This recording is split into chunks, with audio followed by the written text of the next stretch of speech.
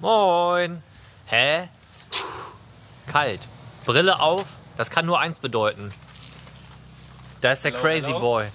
Es ist Montag und weil wir diese Woche viel vorhaben, gehen wir jetzt. Weiß er noch gar nicht, habe ich noch gar nicht erzählt. Wir gehen, wir gehen jetzt Materialien kaufen, weil wir diese Woche einige coole Videos drehen wollen, für die wir andere Materialien brauchen. Also ab ins Auto.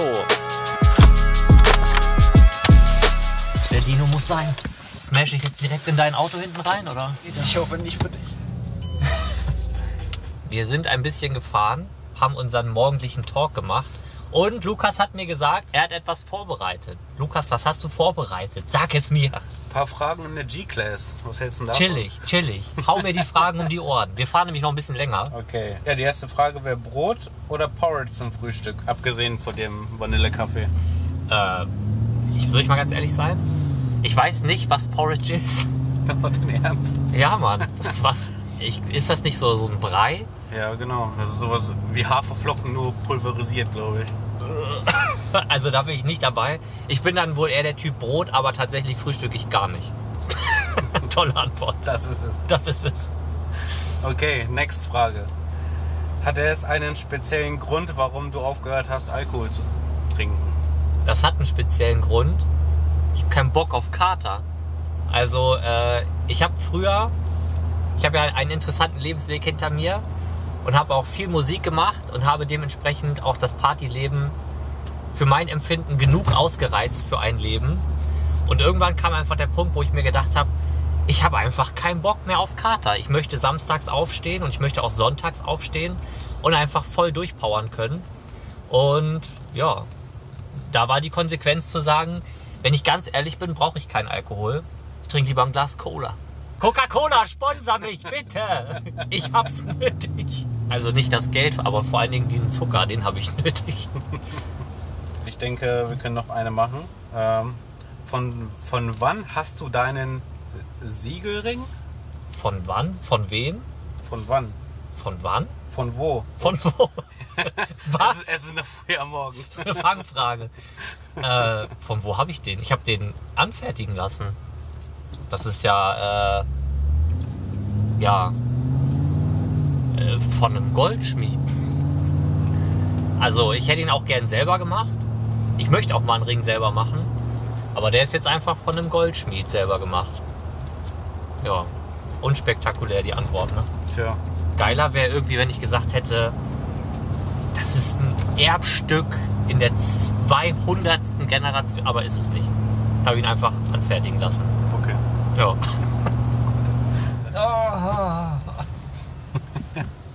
Ja, die rote Ampel können wir jetzt mal wieder Ah. für ein, zwei Fragen nutzen, oder? Ja, Was sagen Sie dazu? geht. Als Unbeteiligter zum Thema Intelligenz. Ich bin nicht dabei. Ich fahre nur. Wie geht es dir nach deiner Augen-OP? Würdest du es wieder machen? Ich würde es auf jeden Fall wieder machen, weil ich zumindest schon mal keine Hornhautverkrümmung mehr habe. Und jeder, der eine hat, weiß, dass das schon crazy blöd ist. Ich kann nicht so gut gucken. Also ich dürfte safe und also ich weiß, dass ich ohne Brille nicht Auto fahren dürfte. Aber es ist trotzdem, wenn man richtig schlechte Augen hatte, so wie ich, ich habe viel gewonnen. Vielleicht muss ich nochmal nachlasern, wenn es geht. Wenn es nicht geht, bin ich trotzdem zufrieden. Es ist jetzt kein voller, ich, ich bin jetzt nicht neu geboren oder so, aber es ist trotzdem nice. Ja, immerhin kannst du ohne Brille Tischtennis spielen. Immerhin kann ich, ja guck, siehst du, ohne, ich kann ohne Brille Tischtennis spielen. Crazy. Früher konnte ich ohne Brille wahrscheinlich nicht mal Zähne putzen. Wo ist mein Mund? Wo ist das Ding? Jetzt mal eine sehr persönliche Frage. Oh Gott. Wie viele Tattoos hast du? Äh, haben die Bedeutung oder nicht? Frag mich jedes Mal, wie viele du hast. Wie viele habe ich? Eins. Fängt hier an und hört bei meinem großen C auf. Also tatsächlich äh, gibt es, ich glaube, ich habe noch so zwei größere Stellen, die frei sind. Die geht so von meinem Oberschenkel nach hier oben so ein bisschen. Und die andere große Stelle, die frei ist, mein Hintern. Das war's. Ansonsten habe ich halt nur so, ich weiß gar nicht. Ich habe hier am Oberarm noch so eine ganz kleine Stelle. Aber ansonsten bin ich vom Kopf bis Fuß vollgedonnert. Das stelle ich mir lustig vor, deinen Arsch zu tätowieren. Liegst du beim Tätowierer, die, ba die Backen erstmal frei. Aber ohne Scheiß, seitdem ich mich tätowieren lasse, bin ich halt ein mega Fan von diesen traditionellen japanischen Bodysuits. Ne? Mhm. Und ich weiß nicht, wie viele Abende wir in unserer WG gesessen haben und uns gefragt haben, bis wohin gehen die? Bis wohin geht das? Also geht das wirklich über den Hintern rüber? Wie weit geht das an den Hintern rein? Und ich habe bis heute vielleicht auch zum Glück keine Antwort gefunden. Aber ich frage mich das seit Jahren. Tja, wenn die, wenn die Leute die Vlogs weiterverfolgen, vielleicht. Vielleicht findet ihr es ja heraus. ich glaube eher nicht. Aber, also ich habe nicht mehr viel Platz, aber ich habe viele Tattoos. Und die meisten haben keine Bedeutung. Ich halte davon nicht so viel. Okay. Und wenn wir nochmal beim Thema Tattoos bleiben, was haben deine Tattoos bisher gekostet? Oh. Six Million. Money, money, money, money, money, money, money, money, money, money, money. Äh, das kann ich ehrlich gesagt nicht sagen, weil ich es einfach nicht weiß. Das ist so wie bei der Werkstatt. Ähm, äh, für mich hat es überhaupt keinen Mehrwert zu sagen, ich habe 20.000 Euro für Tattoos bezahlt. Ist jetzt eine Fantasiezahl, ich weiß es nicht, aber ich will es eh machen. Also warum soll ich jetzt eine Liste führen, wie viel Geld ich bezahlt habe? Weißt du, wie ich das meine? Ist so eine ganze Menge. Aber äh, wie viel weiß ich nicht. Ja, das ist ja bei, wie bei irgendeinem Hobby. So Ja, genau, also- Ist, ist es einfach egal. Wenn man es haben möchte oder wenn man es braucht, dann kauft man das. Ja, man macht es ja auch nicht, um zu sagen, ey Diggi, weißt du was, was mein Bodysuit kostet? Richtig viel, Mann, sondern ich mache das für mich und wenn eine Sitzung 800 Euro kostet, kostet sie 800. Wenn eine Sitzung 0 Euro kostet, weil es ein Kumpel ist, dann kostet sie 0. Und Ja. es, äh, also ich achte da nicht drauf, deswegen kann ich das leider nicht wirklich beantworten. Aber wahrscheinlich schon ein bisschen, schon ein paar Euro. Wow, danke für die Federung, G-Klasse. Bandscheibenvorfall vorprogrammiert. Jeder, der sagt, äh, G-Klasse ist bestimmt locker komfortabel. Easy, fährt sich wie ein Kissen. Ja, wie mein Golf 2. Fährt sich wie der Golf 2, ja. Ja, dann machen wir gleich mal weiter. Wir sind ja schon fast da, ne? Wir sind schon fast da. Ich kann es schon mehr oder weniger sehen. Wir sind jetzt da und ich habe gerade schon zu Lukas gesagt, letztes Mal, als ich hier mit Flo hingefahren bin, ich kann schon mal aussteigen eigentlich. Oh, der Schlüssel ist scheiße. Das letzte Mal, als wir hingefahren sind, haben wir uns megamäßig gefreut und waren so, boah, hier mit der G-Klasse cool. Und dann kam einfach ein G63 vom Brabus. Was ist denn eigentlich mit dem Fokus los? Und wir haben echt ein bisschen abgelitten, weil der war natürlich deutlich cooler als unser Auto. Also wir sind wieder hier, da oben bei Kammeier in Garbsen. Ihr fragt jedes Mal, wo ich da bin. Da. Ihr kriegt von denen kein Geld, aber das ist halt im Prinzip der einzige Laden hier in der Nähe, wo man ja Festool und Co. in echt kaufen kann. Deswegen gehen wir jetzt da rein und kaufen kein Festool. Wir brauchen ein neues Sägeblatt. So, Herr Winkler, sind Sie bereit für die nächste Fragerunde? Ich bin bereit. Sie haben noch den Publikumsjoker, den Telefonjoker. Ich wähle den Publikumsjoker. Okay, was macht ein Kameramann, wenn du oftmals filmst?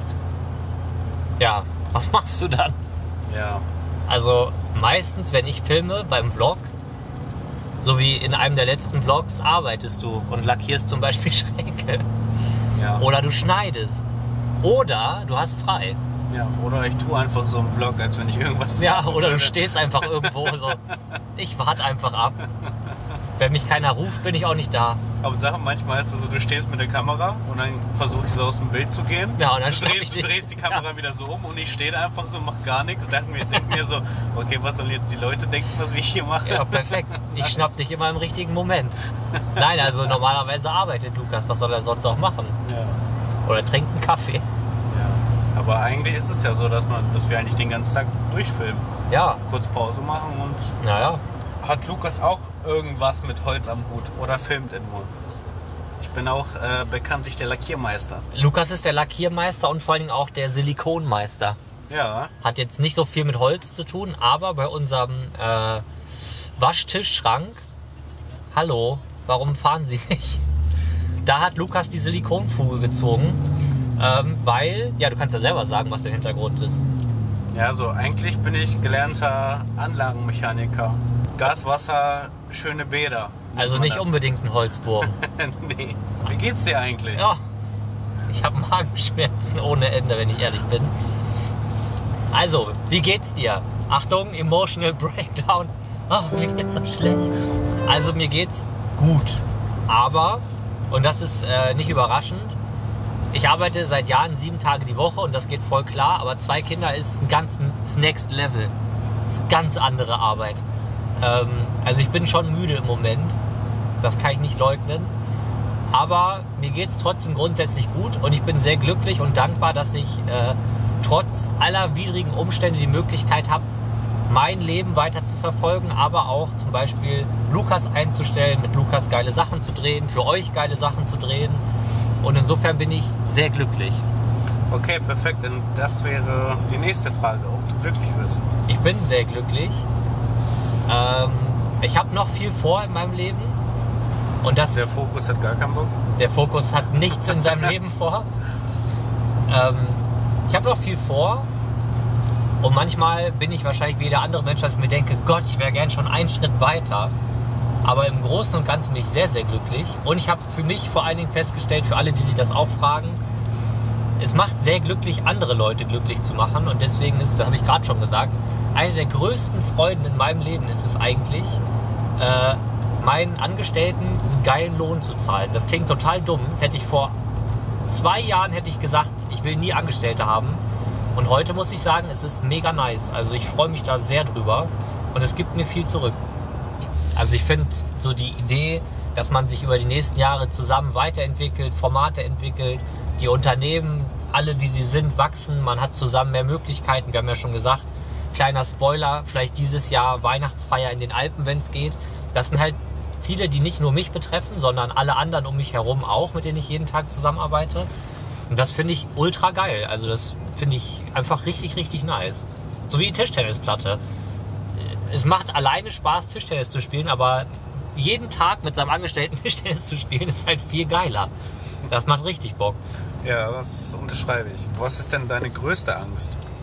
Boah. Oh, mein Herz. Ich weiß nicht, das ist eine schwierige Frage.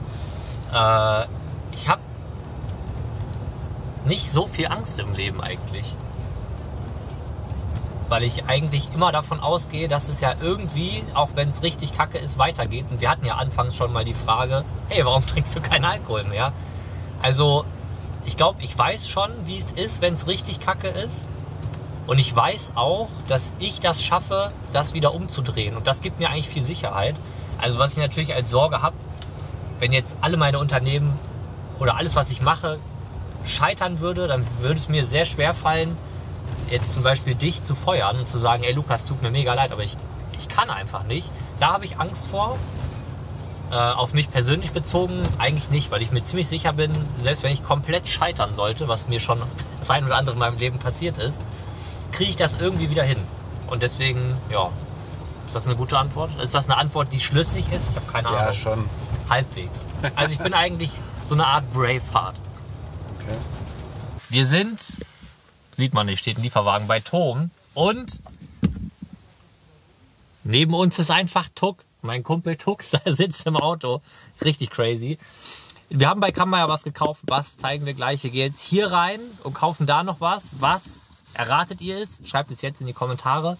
Und ich denke, vorher quatschen wir noch mit meinem Kumpel Tuck, den ich ewig nicht gesehen habe. Und jetzt steht er einfach genau neben uns. Crazy. Voll konzentriert. Ja, Mann, weil ich was, weil ich was vergessen habe. Das ist mega scheiße. Okay. Ich habe es gerade schon gesagt. Wir waren jetzt gerade bei Tom. Ich habe aber eine essentielle Sache vergessen, deswegen müssen wir jetzt noch zu einem anderen Baumarkt fahren, weil es mir turbo unangenehm wäre, jetzt in den gleichen Baumarkt nochmal zu gehen und an die gleiche Kasse zu gehen, ein Teil zu kaufen. Ja, Jonas Winkler, der vergisst nie irgendwas. Peinlich der Typ. Was für ein peinlicher Typ. Ja, und wenn wir schon mal hier im Auto sitzen. Diggi, was macht eigentlich dein Porsche? Jo, gute Frage. Der ist in der Werkstatt. Am Freitag habe ich auch äh, den ersten Call bekommen. Ist ihm bewusst, dass das Auto in keinem guten Zustand ist? Ist ihm bewusst, dass das Auto grau ist? Ja, nein, das ist mir nicht aufgefallen. Der Typ so, ja, ähm, vorne im Kofferraum, da liegen ja die ganzen Kabel frei. Und ich so, ja, ach nee, das weiß ich, das ist mein Auto, da habe ich auch schon reingeguckt. Ähm, wir wollten eigentlich den durchchecken lassen, weil die Motorkontrollleuchte leuchtet. Das hat er aber nicht gecheckt.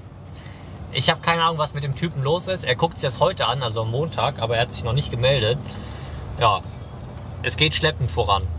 So, und nochmal die aller, aller, allerletzte Frage. Oh Gott, jetzt kommt's. Gönnt ihr euch auch mal Urlaub? Beziehungsweise, wie lang ist der her? boah, wie lange der her ist, weiß ich nicht. Also so einen richtigen Urlaub, irgendwie so Skifahren oder ans Meer fahren.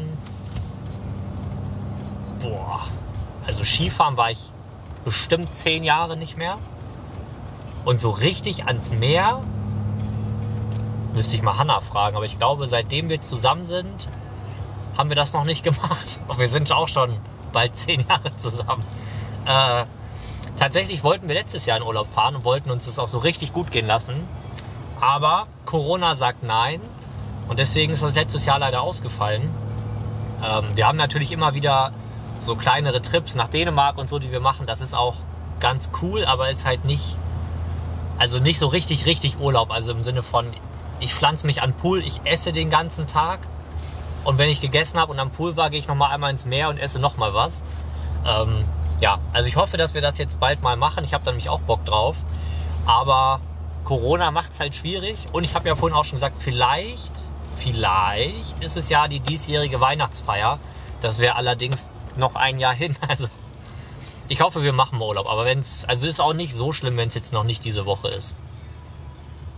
Na gut. Na gut, was für eine nüchterne und traurige Antwort. Also Skifahren, da sehe ich uns auf jeden Fall. Ja, wenn ihr es wissen wollt, Lukas war ja gerade Skifahren. Das erste Mal und er hat gesagt, es war sehr nice. Ja. Ja, ich habe auch me ich hab mega Bock. Ich habe ja sogar ein Snowboard. Und da ich seit 100 Jahren nicht gewachsen bin, dürfte mir das noch immer noch groß Ja, genug das sein. wahrscheinlich. Es kommt irgendwann. Aber es kommen vor allen Dingen wahrscheinlich auch mehr Fragen. Stellt gerne immer mehr Fragen. Zu allem, was euch be bedrückt, wollte ich schon sagen. Auch zu positiven Sachen, muss ja nicht immer negativ sein. Wir fahren jetzt zum nächsten Baumarkt. Es ist einfach gleich schon zwölf. Ganzen Tag vergurkt gefühlt. Und dann geht's in der Werkstatt weiter, was ihr in einem nächsten Vlog oder auch in einem YouTube-Video seht. Und wenn ihr schon dabei seid, würde sich vor allen Dingen Lukas sehr freuen, wenn ihr hm, den Abo-Knopf smasht. Denn 50% von euch sind keine Abonnenten. Das dürft ihr gerne ändern, denn abonnieren ist kostenlos. Also, ich fahre jetzt weiter, wir stehen im Stau. Tschüss.